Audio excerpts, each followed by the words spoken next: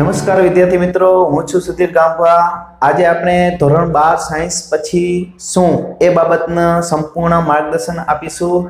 ધોરણ બાર સાયન્સ પછી શું એ માટે આપણે બે ગ્રુપ પાડી દઈએ. એક બી ગ્રુપ અને એક એ ગ્રુપ. બી ગ્રુપમાં આવે છે ફિઝિક્સ કેમિસ્ટ્રી, બાયોલોજી અને એ ગ્રુપમાં આવે છે ફિઝિક્સ કેમિસ્ટ્રી, મેથ્સ. સૌ પ્રથમ આપણે ફિઝિક કેમિસ્ટ્રી બાયોલોજીની વાત કરીએ તો ફિઝિક કેમિસ્ટ્રી બાયોલોજી માટે મેડિકલ પેરામેડિકલ ફાર્મસી એગ્રીકલ્ચર અને બીએસસી અલગ અલગ શાખાઓ જે છે, એમાં મેડિકલની વાત કરીએ તો મેડિકલ જે છે એ નીટની એક્ઝામ પરથી એનું મેરિટ સંપૂર્ણ નીટ પર આધારિત છે અને નીટ પરથી એમાં એડમિશન મળતું હોય છે. ક્રમશઃ જોઈએ તો એમ MBBS BDS BMS BHMS BNAY આ પાંચેય અભ્યાસક્રમ જે છે એ સંપૂર્ણપણે નીટના મેરિટ ઉપરથી મેરિટ બનાવીને એમાં સીટો ભરાતી હોય છે. તો જો વિદ્યાર્થી મિત્રો તમારે સારા માર્ક્સ હશે તો તમને એમબીબીએસમાં મેડિકલ કોલેજમાં એડમિશન મળી શકશે. એ સિવાય જો તમે આર્થિક રીતે કેપેબલ હોય તો તમે સેલ્ફ ફાઇનાન્સ કોલેજમાં પણ એડમિશન લઈ શકો છો. અને જો તમે લોન લેવા માંગતા હોય અથવા તમે ઓછી આવક ધરાવતા હોય તો તમને એમવાયએસવાય યોજનામાં પણ તમને અમુક ટકા રાહત મળશે, શિષ્યવૃત્તિ મળશે. એ સિવાય તમે એજ્યુકેશનલ લોન પણ લઈ શકો છો. એ માટેના પણ આપણે નેક્સ્ટ વીડિયો તમને આપશું. હવે વાત કરીએ પેરામેડિકલમાં, જો તમને નીટમાં માર્ક્સ ઓછા આવ્યા છે અને તમે BSc nursing BPT BOP BOT BO BSL P આ કોર્સમાં તમે જવા માંગતા હોય, તો એ ગુજરાત બોર્ડ જે છે, એના જે થિયરીના માર્ક્સ છે, એના ઉપરથી સંપૂર્ણ મેરિટ બનતું હોય છે. તો ફિઝિયોથેરાપી ઓર્થોટિક્સ પ્રોસ્થેટિક્સ અને ઓક્યુપેશનલ થેરાપી ઓપ્ટોમેટ્રી આ બધા કોર્સની અંદર તમે એડમિશન લઈ અને આગળ વધી શકો છો. એ સિવાયની વાત કરીએ તો એગ્રીકલ્ચરની વાત કરીએ તો એગ્રીકલ્ચરની અંદર વેટનરી છે. એ સિવાય બીએસસી એગ્રીકલ્ચર હોર્ટિકલ્ચર ફોરેસ્ટ્રી આ બધી શાખાઓ છે. એ સિવાય બાયોટેકનોલોજી છે. બીએફએસસી ફિશરીઝ સાયન્સ કહેવાય છે. અને બીટેક એગ્રીકલ્ચર ઇન્ફોર્મેશન ટેકનોલોજી કહેવાય છે. આ બધા અભ્યાસક્રમની અંદર તમે એડમિશન લઈ અને ખેતીવાડીના વિભાગોમાં અને જે પશુ જે છે એના ડોક્ટર્સ તરીકે કે એના તરીકે તમે એના અભ્યાસક્રમો જે છે એમાં એડમિશન લઈ શકો છો. આમાં એડમિશન કઈ રીતે લેવું એના માટેનો આપણે વીડિયો અપલોડ કરેલો છે. વધુ માહિતી જોતી હોય તો આ આગળનો વીડિયો તમે જોઈ શકો છો. મેડિકલમાં એડમિશનની પ્રોસેસ માટેનો વીડિયો પણ આપણે આગળ અપલોડ કરેલો છે. એ વીડિયો પણ તમે આપણી ચેનલમાં જોઈ શકશો. પેરામેડિકલના એડમિશનની પ્રક્રિયા વિશે, બધા એડમિશનની પ્રક્રિયા વિશેનો વીડિયો આપણે અપલોડ કરેલો છે. હવે વાત કરીએ બીએસસીની તો બીએસસીમાં તમે સ્પેશિયલ સબ્જેક્ટમાં તમે જઈ શકો છો. તમારા તમને કેવો વિષયમાં શોખ છે? કયા વિષયમાં તમને રસ છે? એ વિષયમાં તમે સ્પેશિયલાઇઝ કરી શકો છો. સ્પેશિયલાઇઝમાં તમે botany zoology biology chemistry physics microbiology biochemistry biotechnology વગેરે જેવા સબ્જેક્ટ જે છે, એમાં સ્પેશિયલ સબ્જેક્ટ રાખી અને તમે આગળ પીએચડી સુધી જઈ શકો છો એમએસસી કરી શકો છો એમફિલ કરી શકો છો પીએચડી કરી શકો છો. એ સિવાય ઘણા વિદ્યાર્થીઓ પૂછતા હોય છે સર કયો સબ્જેક્ટ રાખવો? તો મારા મંતવ્ય મુજબ તમે એવો સબ્જેક્ટ રાખી શકો, જો તમને ઝડપથી આવકની જરૂર હોય તો તમે કેમેસ્ટ્રી રાખી શકો, કે જેના કારણે તમે સુરત છે ભરૂચ છે, અંકલેશ્વર, આ બધી જગ્યાએ ઇન્ડસ્ટ્રી જે છે એ ઇન્ડસ્ટ્રીઝમાં તમે જોબ કરી શકો. અને જો એ તમે ટીચિંગ લાઈનમાં જવા માંગતા હોય તો ફિઝિક્સ મેથ્સ જેવા સબ્જેક્ટ તમે રાખી અને આગળ વધી શકો છો. એ સિવાય તમારા રિલેશનમાં કોઈ ડૉક્ટર હોય અને તમે લેબોરેટરીને લગતા કોર્સમાં કે લેબ કરવા માંગતા હોય તો તમે માઇક્રોબાયોલોજી રાખો આગળ ડીએમએલટી કરી શકો. આવા કોર્સ કરી અને લેબોરેટરી કરી શકો છો. તો વિદ્યાર્થી મિત્રો, તમારે કેવા કોર્સમાં જવું એ તમારા બેકગ્રાઉન્ડ તમારી આર્થિક પરિસ્થિતિ અને તમને પાછળથી એ કોર્સ પૂરો કર્યા બાદ તમને કેવો સપોર્ટ મળવાનો છે, એના ઉપરથી તમારે અભ્યાસક્રમ નક્કી કરવો જોઈએ. એ સિવાય ફાર્મસીની વાત કરીએ તો ફાર્મસી અને એગ્રીકલ્ચરનું મેરિટ જે છે એ ગુજકેટની પરીક્ષા ઉપર બનતું હોય છે. ફાર્મસીમાં વિદ્યાર્થીઓ જે છે બી ગ્રુપના પણ જઈ શકે છે અને એ ગ્રુપના વિદ્યાર્થીઓ પણ ફાર્મસીમાં જઈ શકે છે અને બંનેનું મેરિટ જે છે એ ગુજકેટની એક્ઝામ ઉપરથી બનતું હોય છે. તો એ ગ્રુપના વિદ્યાર્થીઓ માટે પણ ફાર્મસી લાગુ પડે છે.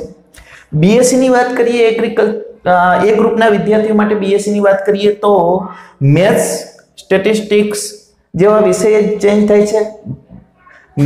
આમાં બાયોલોજીના વિષયો આવશે બી ગ્રુપને માટે અને એ ગ્રુપ માટે મેથ્સને લગતા સબ્જેક્ટ આવે છે. તો ટીચિંગ લાઈન માટે મેથ્સ જે છે એ બેસ્ટ છે. તો આ રીતે બી ગ્રુપના વિદ્યાર્થીઓ બાયોલોજી સબ્જેક્ટ પણ રાખી શકે છે. ટીચિંગ માટે એ ગ્રુપના વિદ્યાર્થીઓ મેથ્સ રાખી શકે છે. તો આ રીતે આ કોર્સ જે છે એ ઉપયોગી થશે. હવે વાત કરીએ હોટલ મેનેજમેન્ટનો કોર્સ છે.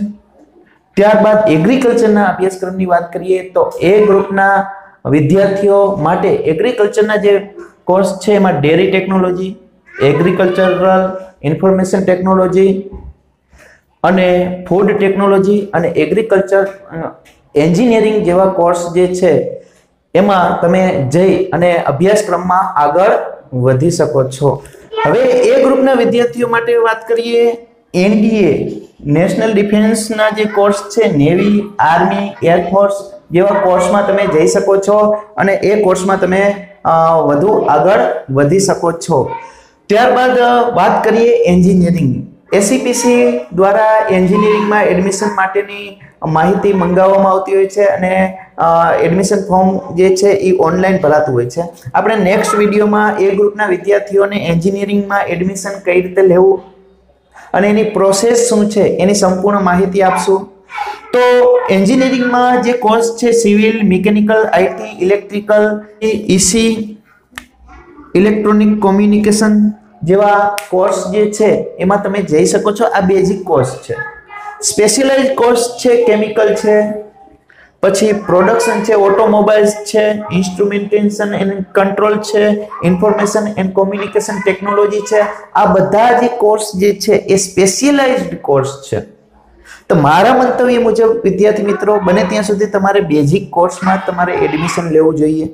બેઝિક કોર્સના જે સ્ટુડન્ટ જે છે, એ આગળ જતા સ્પેશિયલાઇઝમાં જો જગ્યા હોય તો તમે એમાં જઈ શકો છો એપ્લિકેશન કરી શકો છો.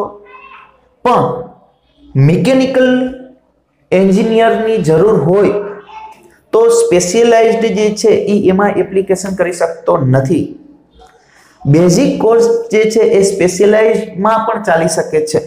સ્પેશિયલાઇઝ્ડ કોર્સ છે, એ સિવાયના અધર કોર્સ છે, એમાં ચાલી શકે છે. એટલે બને ત્યાં સુધી એન્જિનિયરિંગમાં એડમિશન લેવું હોય, તો તમારે આ જે કોર્સ, બેઝિક કોર્સ છે, એમાં એડમિશન લેવું જોઈએ. એ સિવાયની વાત કરીએ, અધર કોર્સ અધર કોર્સ બંને ગ્રુપના વિદ્યાર્થીઓ કરી શકે છે, BBA, BCA BSc IT BBM, CA સીએને આ એ ગ્રુપના વિદ્યાર્થીઓ કરી શકે છે. કેમ કે મેથેમેટિક્સનો ઉપયોગ વધુ થતો હોય છે. ત્યારબાદ વાત કરીએ તો ગ્રેજ્યુએશન થયા બાદ એ ગ્રુપનો વિદ્યાર્થી હોય કે બી ગ્રુપનો વિદ્યાર્થી હોય, સ્પર્ધાત્મક પરીક્ષા આપી શકે છે.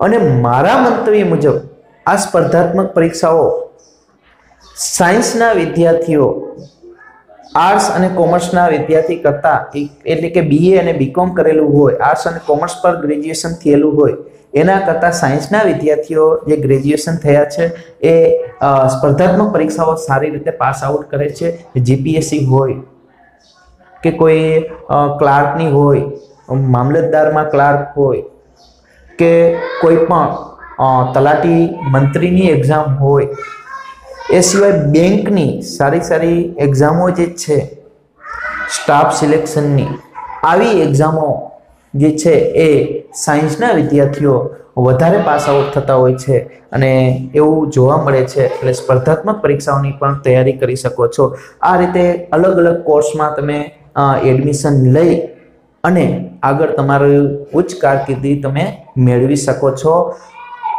તમારો શોખ શું છે? તમારી આર્થિક પરિસ્થિતિ શું છે? અને તમારું બેકગ્રાઉન્ડ ફેમિલીમાં બિઝનેસ શું છે? કયા પ્રકારના બિઝનેસ સાથે સંકળાયેલું છે ફેમિલી આપણા પેરેન્ટ્સ એ પ્રમાણે તમારે એડમિશન લેવું જોઈએ.